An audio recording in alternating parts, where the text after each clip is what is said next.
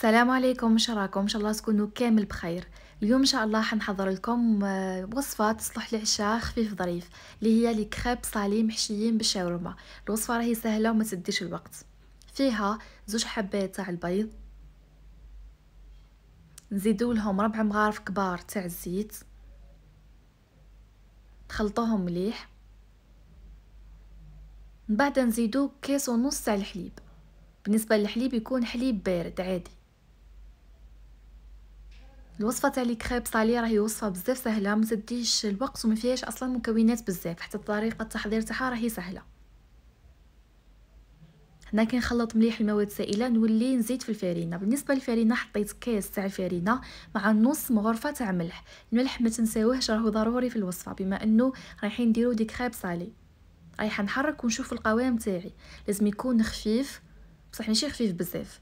أنا كي حركت لقيت بلي مازالت ناقصة شوية فرينه وليت زدت على الكاس مغرفة كبيرة تاع فرينه نتوما على حسب النوعية اللي عندكم. المهم الخليط تاعكم يكونش ثاني ثقيل بزاف. إذا درتو الخليط تاعكم ثقيل من بعد لي كريب تاعكم رايحين يجيو خشان يعني معجنين.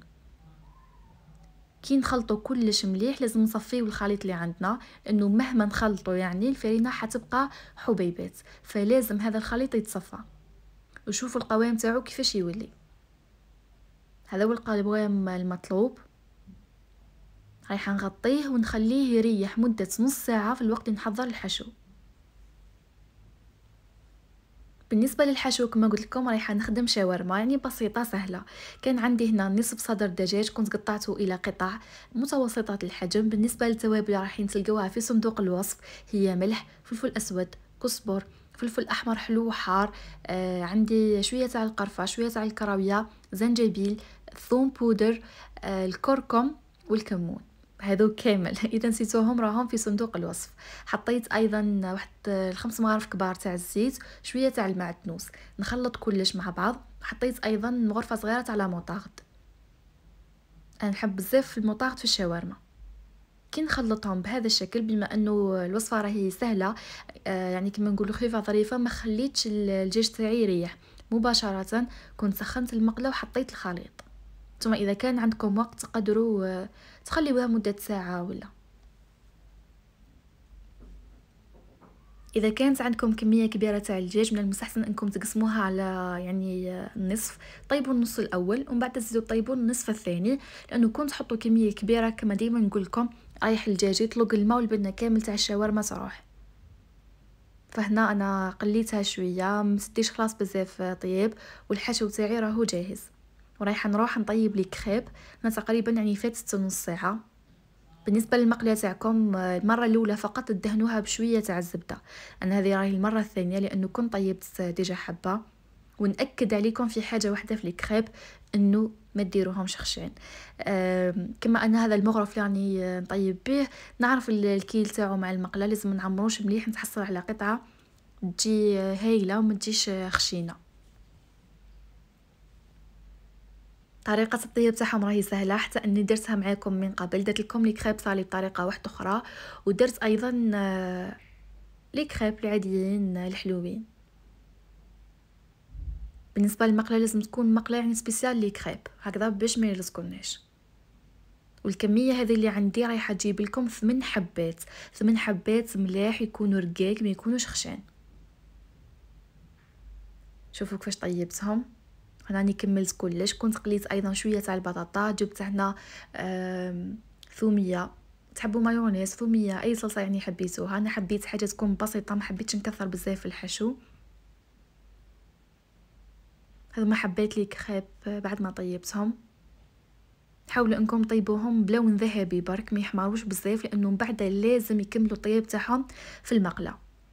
هنا باش ندير شكل مثلث وليت قسمت بالموس آه نصف القطر فقط تاع الحبة باش نقدر من بعد نقلبها كما راكم تشوفوا.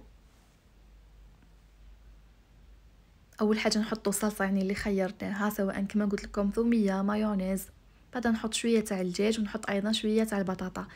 أه الحشو ما تكثروش بزاف. كما على بالكم يعني الكريب بزاف خفيف. كون تكثروا الحشو رايح يغلب على العجين. شوفوا الطريقة فقط كيفاش نقلب. وحبيت إنه هذه الجهة هي اللي تكون على برا. تجي بزاف هايله ومشهية في الأكل. كاين حبات في الأول درتهم لدي هذيك السفلية تكون بزاف ذهبية ما جاوش بزاف مليح. بصح هذه الجهة جات بزاف هايلة. رايحه نكمل بهذه الطريقة ودرت حبتين فقط بالطريقة يعني القديمة آه كما لي تاكوس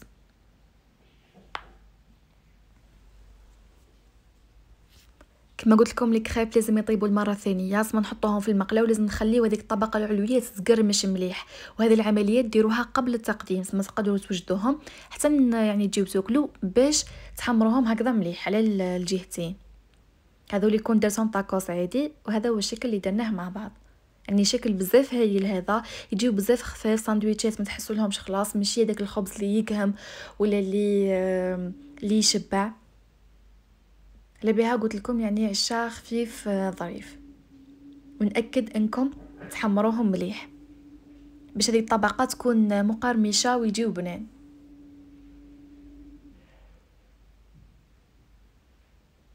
هذه هي فكرتنا لنهار اليوم. فكرة بسيطة سهلة نتمنى أنه تكون عجبتكم وتجربوها وتشاركونا جميع تطبيقاتكم في جروبنا على الفيسبوك ولا في الإنستغرام.